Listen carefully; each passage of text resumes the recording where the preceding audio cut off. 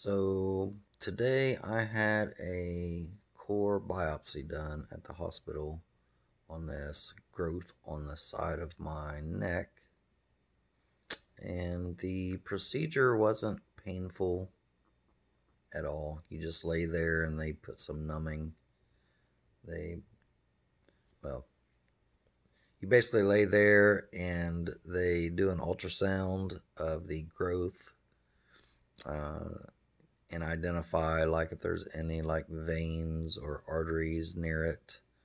And then they disinfect the area.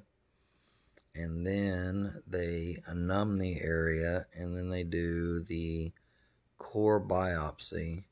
I think she told me she took five or six cores. Pretty large growth. Um, and then i was dismissed. Uh, told to keep it clean and dry for a few days and um, if there was any pain or discharge to basically call the doctor and let him know. Um, for about an hour or two afterwards it was pretty sore. Um, but the actual procedure itself not painful at all.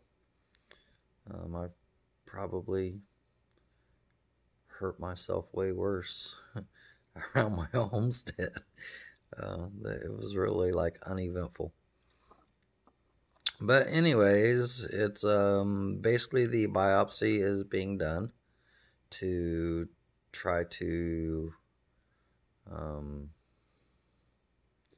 identify whether or not I have an infection or potentially cancer or maybe some other um, condition. Um, and I don't really have a lot of information. I've not really told a lot of people. Um, very close family my mom, my sister, and one or two of my closest friends.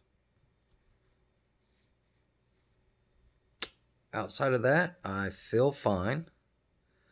I've not really lost any weight, but I've gotten extremely weak. Um, I, I should back up. I feel fine mentally. I feel fine physically for the most part. Um, I've not lost any weight. I've not lost an appetite or anything like that. Um, I can't remember if it started before the lump or after, but my right shoulder is extremely painful, like in the bone pain and I can't really explain that any other way. Like you know what a muscle pain feels like, but this is a bone pain. It's it's pretty consistent, pretty bad. Many people would probably take pain pills for it, but I really I'm not a person to take pain pills. Um, this this uh, growth in my neck is why I shaved my beard off, and um, I haven't really told anybody, not even people at work. I mean, they know I'm going to the doctor fairly regularly. I mean, I've seen my personal doctor. I saw, uh, had a CT scan done at the hospital. Then I saw an ENT. And uh, now I'm on a, you know, I went through a round of antibiotics and now I saw a radiologist for a biopsy. Um, all this stuff's expensive, by the way. I've spent about mm, three thousand dollars out of pocket already in four or five visits. You know, the CT scan was twelve hundred and some dollars. The biopsy today was like fourteen or fifteen hundred dollars. You know, it's just all all expensive. Um, but the reason why I haven't really told anybody because this could really be nothing or it could be something pretty serious and I don't want to go one way or the other until I find out what it is and no matter what it is I'm just going to deal with it um, it's no different than any other thing, you know, if if you're not being challenged with hardships, then how are you expected to grow? And this is just a challenge and a hardship both in one package, and I'll deal with it just like I deal with everything else. So that's really all I have to say right now.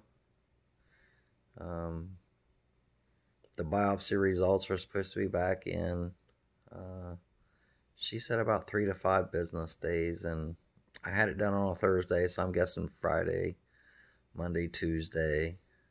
So maybe Wednesday, Thursday, or Friday of next week, I should know something. I don't know if they're going to just call and tell me the results or make another appointment where I have to go in. I have no idea. But, uh, um, I don't really have anything else. I kind of like have this sudden urge. I feel like I got all this stuff I need to do. Um,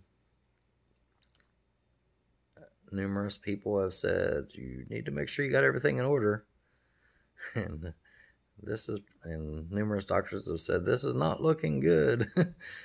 but, you know, I'm pretty confident that I'll handle it one way or the other, just like everything else. And I'm only making this video now. Originally, I wasn't going to tell anybody. Uh, the cat just fell asleep on my lap and literally fell over. But uh, I wasn't originally going to tell anybody. And just whatever happened, happened.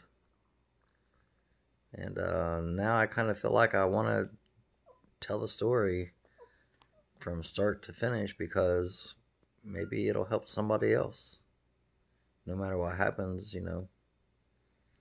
Um, if it's cancer, maybe I'll beat it and give somebody hope. Uh, if it's something simple, maybe I'll give someone hope that maybe thinks they have cancer. Um, if it's cancer and I die, well, you know, we God has a plan, and I'm not God, and you're not God, and the doctors aren't God either. So, uh, it's just the way it works out.